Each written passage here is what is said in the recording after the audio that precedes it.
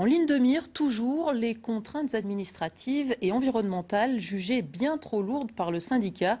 Pascal Félix et Claude Bernard ont rencontré des éleveurs installés à Vieille Espèce près de Saint-Flour. Une contrainte jugée absurde, la directive nitrate a déclenché l'incompréhension chez ces agriculteurs de la planète de Saint-Flour. Fin 2012, ils se sont pliés aux nouvelles normes d'épandage des lisiers. Ils les stockent plus longtemps et uniquement sur du béton, puis il leur faut les pendre dans les prés. Des prés qui ne doivent être ni trop pentus, ni gelés, ni enneigés.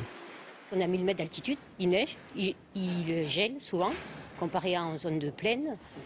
C'est pour ça que c'est pas du tout adapté en zone de montagne. Et on le revendique parce que on va. Qui c'est qui va payer si on n'est pas en le lisier Parce que la fosse est pleine si on n'est pas sur la neige?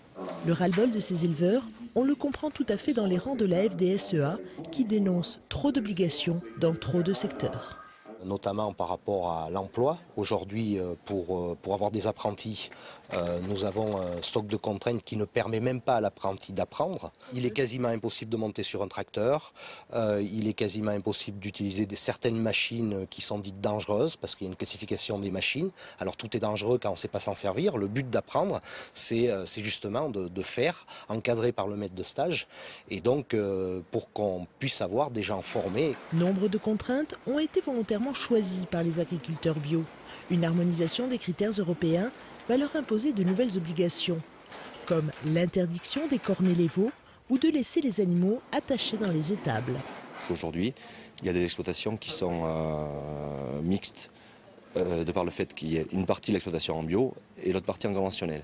Donc la nouvelle réglementation européenne euh, veut interdire cette mixité-là. De nouvelles réglementations mal acceptées parce que les agriculteurs disent en avoir assez d'être désignés comme des pollueurs chroniques et que ces directives ne correspondraient pas à la réalité du terrain.